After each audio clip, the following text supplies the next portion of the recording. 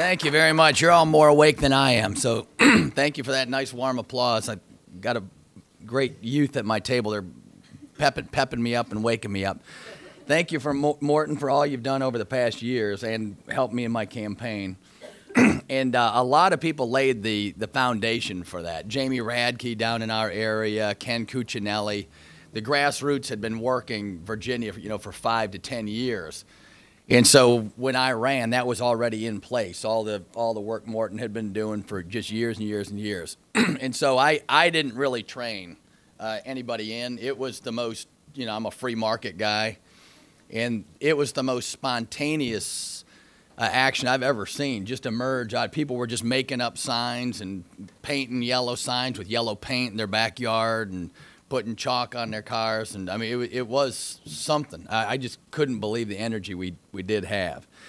Uh, but today, I think I'll just kind of give you some short remarks on uh, the process and then the product. And the DC press is not interested in the product at all. And I'll get to what that is, right? So we got I'm, I'm, I'm in the House Freedom Caucus, right? There's about 40 or plus of us folks, and then there's some other folks in other groups that are, yeah, and they're good. They're, they're taking a lot of heat in the press uh, this week over the uh, speaker vote and all that kind of thing. But uh, the, the press has not given them any uh, reporting or factual coverage of what they accomplished uh, since last year. If you would have said a year ago they were going to have a new speaker who promised to work from the, the bottom up and get back to regular order. And that, that's the process stuff I'm talking about, right? Regular order, steering committee, make sure you got way better representation of conservatives and uh, younger folks on the committees. And then regular order just basically means uh, a law has to go through uh, through the committee process, and then it can't be hijacked at the end by leadership. And so there's no better example of that than the budget right? The budget itself, the three and a half trillion dollar document. I'm on the budget committee, and uh, we were done with our work four or five months ago. And then uh, the budget goes from the budget committee through appropriations, 12 appropriations bills. The House passed five, the Senate passed one, and that was the end of that. And then after that, uh, who's in charge of the U.S. budget? And the press came up to me a month ago, and they're all on the Planned Parenthood, right? Uh, the controversial videos and all that. So they come out and say, well, you're going to shut down the government. You're going to shut down the government over Planned Parenthood, aren't you? And that was the question, right? These are very insightful questions. and so I just look at them with a blur and I'd go, well, I said, I'll answer your question if you answer my question. I said, can you tell me, since you're asking a question about the budget and shutdown, can you tell me who's in charge of the United States budget right now? And they go, no, who is in charge of the budget? I said, Well, you're an investigative reporter, aren't you? I said, So maybe you should go find that out. I said, Because I don't know who's in charge of the budget right now. And I'm on the United States Budget Committee. So I find that fascinating, and perhaps there's a story in there for you, right? Because I'm on the Budget Committee, and I don't know what's going on with the budget. And I was, this is truthful, but tongue in cheek at the same time, right? And they're just stunned. And so then I didn't have to answer the question about Planned Parenthood. So I was. That's all they want, right? They just go for these little nuggets to, to ding you. But that's the serious question, right? And so we knew Barbara Mikulski was in that room, right? She wanted to break the cap, so the Democrats are in the room somehow. And then the final agreement was between Harry Reid and, and Nancy Pelosi and, and the three, and Obama, and then McConnell and, uh, and Boehner. So they had three to two uh, when we owned the budget and we owned the House and the Senate. And we lost. We gave them everything they wanted. And that included the debt ceiling increase, et cetera, and about 80 billion addition to the deficit. Uh, the military stuff was okay, but even there on the budget committee, we, we were finished with a budget document. The defense guys hadn't come to us at all. They came to us the day that we finished the budget. And uh, so that's that's the process stuff I'm, I'm trying to get at. But uh, I'll just go back and give you a quick little overview since I, I've been in one year now. I came in early. Eric stepped down a month or two early. So I came in last November on the, and here comes the process stuff. This is kind of new. I came in on the Cromnibus that funded Obama's unconstitutional amnesty. Right? So that was my opening week. And everybody up here is very gracious to me. I was shocked, right? I thought there was going to be some bad blood or whatever. Everyone, very nice. Uh, the senior guys uh, said just two things Dave, whatever you do, don't vote against a rule and don't vote last. They were trying to give me good advice. And that was pretty good advice. Some people go their whole career and they haven't voted against a rule. So what I just gave you is called foreshadowing. Anybody go to Hampden-Sydney here? I usually bug Hampden-Sydney students, or nobody know him. So it's called fore. So if they tell you, don't vote last and don't vote against a rule, can you see why I'm saying this? So we have a rule vote on the budget of the United States called the Cromnibus, right? So it's a CR, a continuing resolution, CR, plus an omnibus. So we they jam that together, 1,700 page document. Uh, my first week there, two days to read it. Not three, that's promised, right, by our own Republican Boehner rule and that kind of thing. So two days to read 1,700 pages. And uh, we get on the floor to vote for the rule. And the rule is, you know, the rule allows the bill to come to the floor in a certain form with certain amendments. And you know, so you don't have an infinite number of amendments. And this matters because this is what is, we're doing this week. Paul Ryan, to his great credit, is opening up the process this week for real. And we'll get to that. Uh, but on the rule, uh, the rule included some policy stuff, so it was easier to vote against. They're not supposed to include any policy. It's just supposed to be methodology and that kind of thing. And so I'm just fascinated with all this my first week. And I'm you, right? Prior to this, I was a professor reading books for a living. And then you're sitting there voting the next week. And so imagine yourself, Boehner comes down on the floor, and McCarthy and Scalise, the whips, everyone, and they're they never come on the floor. So when they come on the floor, oh, there's energy, and they're yelling at people, making deals. And so I'm going, wow, this is interesting, right? I'm, this is true education. And you see real politics. And so you see what's going on. I looked up at the board, it's about 212, 212, something like that. And I hadn't voted. And it was about dead even. so if you've all seen the Lord of the Rings, is that the right? Lord of the Rings, right? The Eye of Sauron, right? Was there. So I put in the vote card, voted no, and there goes the whole budget for the U.S. down. right. Except the gavel didn't come down. Right? So there's another, another new trick I learned. So the gavel never comes down. And so they went and talked to Stutzman from Indiana, good Christian guy. I say the problem up here is too, we got too many good Christians, right? They, the Christians all believe people when they tell them stuff. And they're innocent, they're good. So he was promised on that bill, we'll, we'll get this right procedurally, we'll, we'll get eh, it right. They didn't promise him a bridge, nothing like that. It was on process, good for the country. Promised him and a couple other guys, and it's all written up in Politico or whatever, so it's all summarized. And so Stutzman and a couple other guys change their votes, and it goes to a yes. and that's the way it works, right? So just day after day after day. And so that's the budget. I've covered a little on that. And then we went, you know, tough vote after tough vote after tough vote. The trade thing comes up. The Iran deal was horrendous. You had to go down in a bunker right, to read the deal that your constituents couldn't read, and you represent your constituents, and you have to vote on that. That was a terrible uh, deal. It was uh, I voted. I was one of the few who voted against that. Corker Cardin. That was the yeah, and then anytime you're effective, right? I can tell when I'm effective because PolitiFact writes something on me the next day. So on that one, I said I guess I phrased it. I said I was one of the few who voted against the Iran deal. And they said false, totally false. And they said, well, the Iran deal is the whole thing. I said it's not it's not just Corker Cardin. Right? And so I said, but I said voted. I voted. I was one of the few who voted. This is the only vote that we took on Iran. Right? So it's the only they no, no, we don't we think of it differently than you do, so it's false. right? And you just cannot believe what it's like, what the press does to you. I was just sharing a couple stories on the New York Times, did a thing on me yesterday in New York Magazine. And you just go through it. And two weeks ago, I was on Meet the Press. Anybody see that one? So that one, I did okay. They said I was a little over caffeinated on that. I was, I was excitable in that one.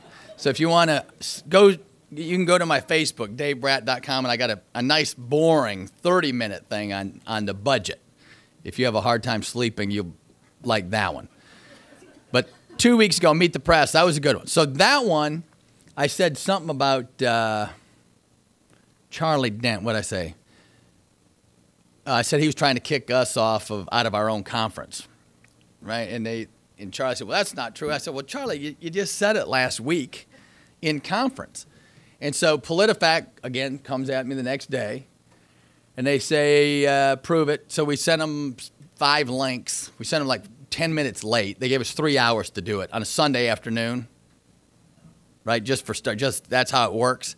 So we sent those in. They ignore it, basically. And then this is, you will not believe this. They changed the transcript from the Meet the Press show. When they rewrote the transcript, and they had me swearing at Charlie uh, Charlie Dent. They just created words out of whole cloth and had me swearing at the guy I'm on a TV show with. Right, and that's PolitiFact, who's supposed to be the ethical arbiter of the debate up there. Right, so there's just a little on the press. So you got the process, and then you got the press, and then I'm an economist, and so all of this matters. Right, the only thing the press is interested in is these horse race stories right? They'll come up and say, What do you think of this? And I'll say, Well, it doesn't change the deficit, doesn't change the debt, and whatever. And say, This is so, oh, so you differ with Paul Ryan on that. And they're looking for that, right? And so all of this so far has been process. And Paul Ryan, we're going to make some good moves on process right now. We're in the middle of it on this transportation package. It showed up in a bad form.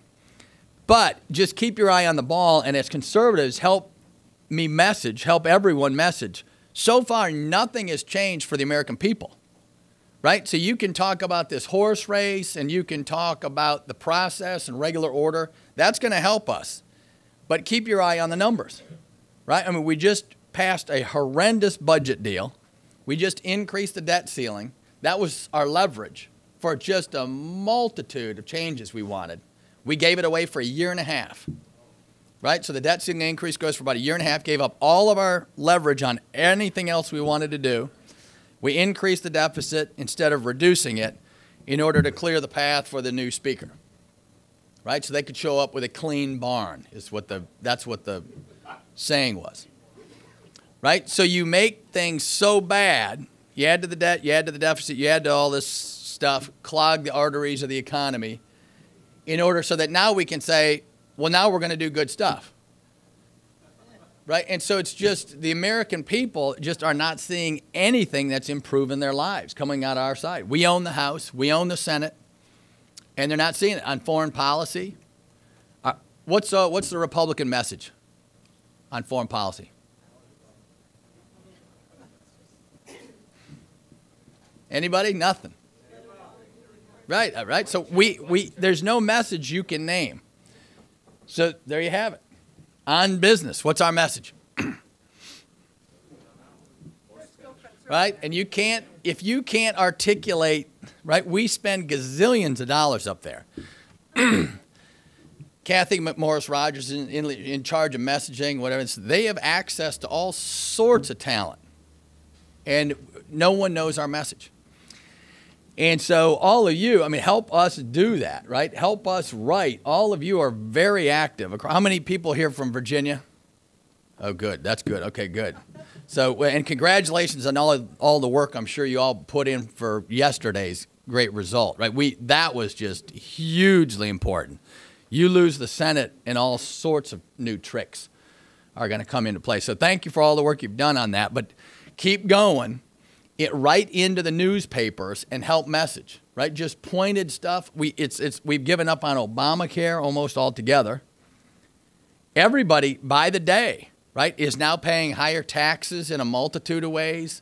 the fees, the deductibles are it it's killing business. And it's like we've just given up. Like, okay, Obama's here to stay. And I don't think it is. I think it's going to implode. And so it's but you need to help it implode because the narrative you have to change the narrative. And so right into the newspapers. I encourage everybody go out. I'd love to have you all on my uh, email account, right? Come out to my uh, Facebook, davebrat.com, and sign up for my newsletter because then I know who, who I have out there following. And I try to explain every vote and I try to explain every major policy that's coming up. And so I'll just end on, and I'm happy to take any questions on what's going on right now in the transportation bill and, and Paul Ryan and the credibility. He's coming in saying, uh, we're going to do things right. It's going to be bottom up, and it's going to be regular order, which means it's going to go through committees. and I think he's actually going to do it because he gave up his future shot at the presidency, et cetera, uh, to get something done. And what he, he wants to get his big Ways and Means package through now as Speaker. And that would be a good thing, right? Because that'll be entitlement reform and a whole new way of budgeting. And so I think that's really what he wants to accomplish. And that would be the good piece if we get that part through. I know immigration and all that, you got reservations, and so do I. but he's going to use regular order as a vehicle to, to get some of this through and to keep some of us from blocking. Right? The Freedom Caucus has 40 to 50. We can block in our own house. And I'll just, I'll give you the basics on that too. Sometimes you forget the basics of, of politics. But at any time, Boehner could have come over to here, to the right, to the conservatives, and passed anything, right? We have a majority in the House. So you can pass any bill you want by coming over to us 50. So why wouldn't they do that? Who's got the answer? What's up here at high noon in the middle, where they went to get the votes with the Democrats, right? They did that three or four times on major, major bills. What's up here at high noon that's not down here uh, if you go over to the uh, right and the conservatives to win your vote? You can win the vote either way. What? The press, right? The press is good. Money. That uh, money, right? So it's always just follow the money, right? So we're overcommitted. We've made promises to every constituency under the sun, and some of them are good, right? Some of them are bad. But roads, transportation, right? We got a bill, transportation bill. It's probably not going to be paid for today, right? And they attached Export Import Bank to it, by the way, just for kicks. And so we make huge promises to all sorts of constituencies, and we can't pay over here. If you go with the conservatives, then you lose K Street. But if you go over here with Pelosi, it's one major party up in D.C., right? It's the party of money. And that explains, you just go back and review, right, where they went to get the Democrat votes, and you just follow the money, and that's usually the logic, and it's usually about that simple. So I'll end right there on the process and the product, and happy to take any. Yep, and let's do real quick questions, and I'll try to get to as many people as I can. Yep. And I got to get back supposedly for a 9 o'clock conference meeting. I'm sure I'm going to be late, but whatever it's a joy for you for uh, you to be here, Congressman um, Brat. Thank you. My name is Quinn. I yep. With all the status quo mentality of the D.C. establishments, uh, acting more like political schizophrenia, you know, as each uh, election, you know, come and go. Mm-hmm. Um, why hasn't there been more enough done uh, with uh, folks on the budget committee in terms of you know, addressing and taking this trillion dollar deficit that we have as a nation yep. under control, and, and yet this administration continues to cripple down this economy right now. What what can you uh, aspire this next wave of leadership to do? Thank you very much. Yeah. So, uh, kind of basic question: Why why doesn't the budget committee ever cut anything? And it's the same kind of answer. There's always kind of another election around the corner, always, right? So we're kind of scared of our own shadow, right? We're scared of this group and this group and this group. And so you got to fund everything to keep everybody happy. And if you keep doing that, uh, you make every group happy, but the country as a whole gets on the wrong track. And so our, on the budget committee itself, we actually passed a budget this year that, that balances in 10 years. So that's not ideal. and you all may not know, but on the budget track we're on and in law right now, I didn't even get to the big numbers, but the we're uh, according to CBO, we're going to have trillion dollar budgets again, tr- trillion dollar deficits by 2025. So they came down, right? They used to be 1.4 trillion after 07, 08, after the financial crisis. Now they're down to only 450 billion. They say that with a straight face, by the way. The head of CBO, they're, they're only 450 billion dollars, half a trillion dollars, but they're going back up from like today over the next nine years. By 2025, they're at a trillion. And so your question's on the mark. What are we going to do? And even the most serious hawks, we don't hold our own line, right? And just tell the chairman no on no votes. And just to put a little, the, the unfunded liabilities I ran it used to be 127 trillion. Now it's 100 trillion if you got to the debt clock. Medicare, Medicaid, Social Security, all that kind of stuff. All federal revenues in 11 years, and then this is CBO, you can go to CBO graph, the main graph. all federal revenues in 11 years will only go to those entitlement programs and interest on the debt. In 11 years, there won't be $1 left for the military, education, transportation, all the running government. So that's a fact. And I'm on the budget committee. We can't change any of that. So the, the mandatory spending is two thirds of the budget right now. It's going to be 100% in 11 years. Budget committee cannot change that. That's in law, right? So those programs you have to go through the House, the Senate, and overcome a veto. So the number's already bad enough by itself, but the Budget Committee can't change that two thirds, and it's going to grow to 100% of all revenues in 11 years. That's for the next generation, right? It, we put the debt on them. Seniors are already going to get clipped 20, 30% of their benefits in 11 years, guaranteed. That's in law. The Social Security uh, disability trust fund went bankrupt this year, 2016. We just fixed that. It's got all sorts of fraud in it, right? I think it went up 400% spike in some categories of usage from fraud. So to fix that, we didn't fix it. We didn't reform the system. We took money from the senior fund for retirees and put it into the corrupt fund. That's the way you fix something. And everybody knows it. Yep, I went way off too long. Yep. Well, Dave, next time John Boehner talks about cleaning the barn, remind him what's in barns, horses' asses. Yeah, right, right. Cu- couple, couple questions. With the um, changing of the transcript that you said Politico did, Yeah. is that liable? Is that actionable? Do you know? I don't think so. I mean, doubt 'cause it. that's For public what- figures, there's nothing they can. But it probably, if I really wanted to spend all my, I probably could do something. Because it seems like Yeah. that's what conservatives need to do is to start standing I up know. to media To them, right. to hold them accountable PolitiFact, right. PolitiFact is the one who did it. for, for what they do. Yep. Um, Second question, last question is I understand the integrity of getting back to regular order, but, and, and I, you know, I'm not a politician, so I don't know as much about this, but when, as a Republican, I saw Harry Reid do all the dirty dealings Yeah. that he did, Yep. I'd like to see my side do that too. right, right. Why can't we? Is it because Obama has the, the power of the veto? Uh, I'd like to see Republicans put things on Obama's desk and make him do his damn job Yeah. of vetoing if he's going to veto it, then his signature's on it. Yeah.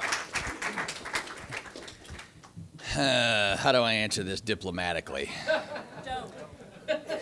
It, you're not going to see that. I'll put it to you this way. If you wake up in this city and you vote with leadership, you get a million dollars in your bank account.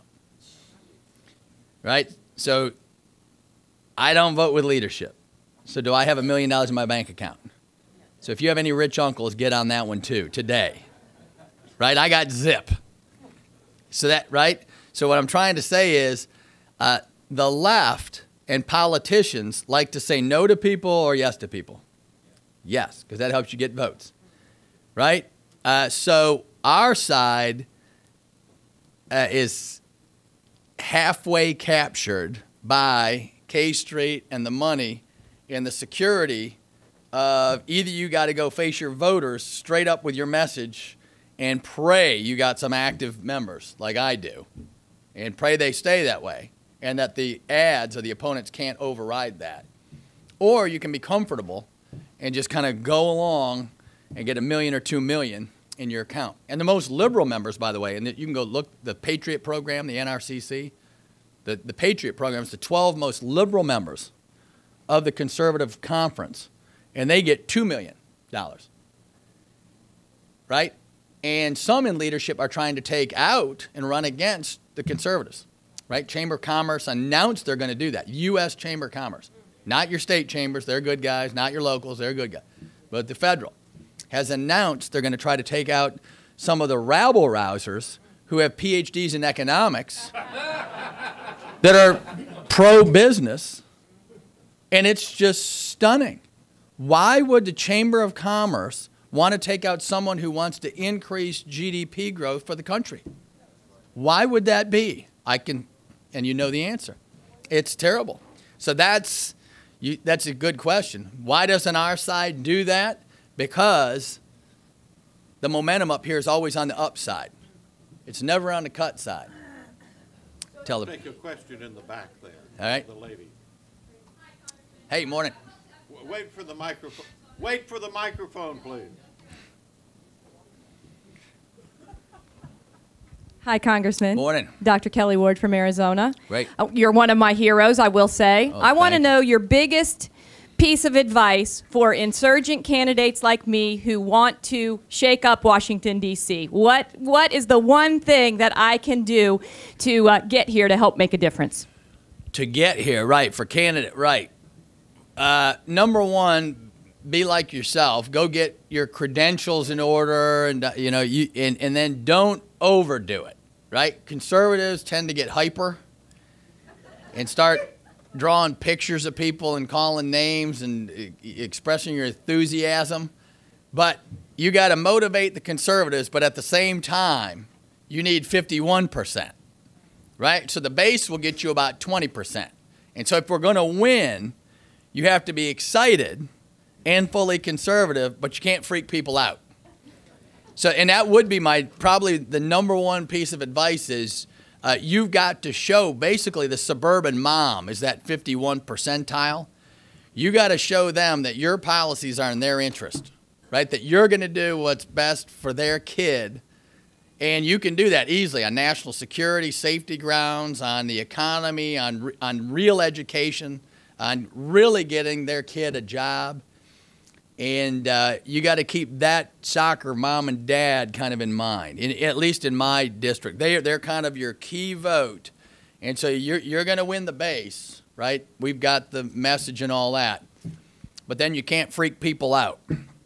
And so, you know, get, get people with some business experience, some academic experience, or whatever. Know the numbers. Uh, be ready for the press. They'll try to trip you up every five seconds. That's that's the best I got on a short. Who you got more? I'll let him do the heavy. Your thoughts, please, on the uh, presidential race, the Republican field. No man, here you go. I know. That's always a killer. I get out of this one by saying, and I was on the lawn right at the Tea Party talk on the con- with Donald Trump, standing next to me. Right, so we're like this. He's like this, and the press geniuses that they are said, well, "Dave, you're going to endorse uh, endorse Donald today?" And he's standing right there. So I went, well, Donald's great. I said, we're both for free markets and, you know, the rule of law. And, he, you know, he's good, and we're both want to make America great again. And then he looks over, he says, he better endorse me or I'll ruin his political career right now. I'm like, so that, thank you for that great question.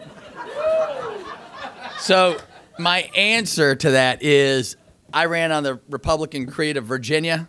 And I just tell people whoever's closest to that creed, that's who I'm going to vote for. I don't believe in machine politics and telling you who to vote for. So, I mean, that's it. I mean, adherence to the free market system, equal treatment under the law, Constitution. And so you can make your guesses as to who the stronger candidates are there that I would probably like. It's a good one, though. Yep. Okay. Let, let's uh, take the lady there. Yes, you.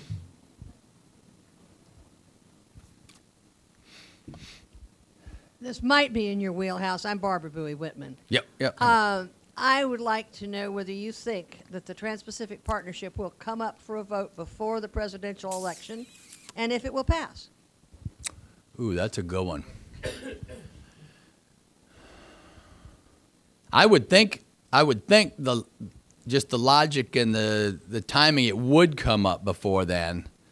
But it'll I, I haven't I haven't thought through the politics of it from their side or our side, whether they want it to come up.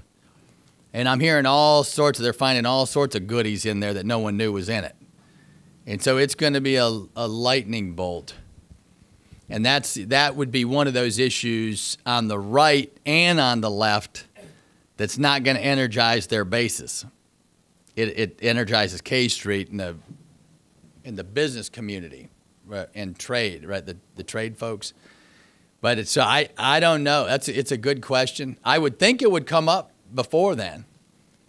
It, the business community needs it. I'm a free trader, right? I mean, I'm for trade. But the first thing, the first phrase, the, the guys that were selling that thing said, this is going to give President Obama more authority. And so I'm like, I'm against that trade.